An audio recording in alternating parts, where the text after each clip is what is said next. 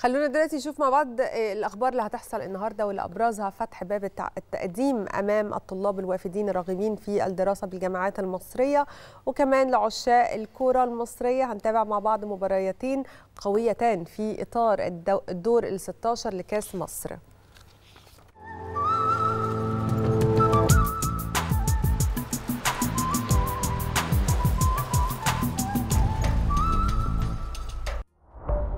بخصوص الأخبار اللي هتحصل النهاردة فالنهاردة هيؤدي أئمة المساجد خطبة الجمعة تحت عنوان فضل يوم عرفة وسنة الأضحية وهو الموضوع اللي حددته وزارة الأوقاف في وقت سابق مشددة على الأئمة ضرورة الالتزام بموضوع الخطبة نصاً أو مضموناً على أقل تقدير وألا يزيد زمن الخطبة عن 15 دقيقة.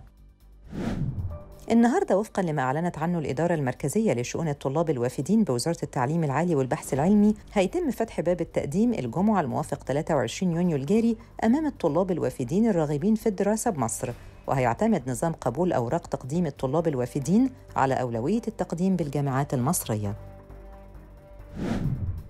النهارده هتبدأ الهيئة القومية للتأمين الاجتماعي في صرف معاشات يوليو عن طريق ماكينات الصراف الآلي الخاصة بالبنوك والبريد المصري المنتشرة على مستوى الجمهورية أو الصرف من خلال المحافظ الإلكترونية. بالإضافة إلى الصرف من فروع البنوك يوم الحد المقبل تنفيذا لتوجيهات الرئيس عبد الفتاح السيسي رئيس الجمهورية بتقديم صرف المعاشات قبل عيد الأضحى المبارك.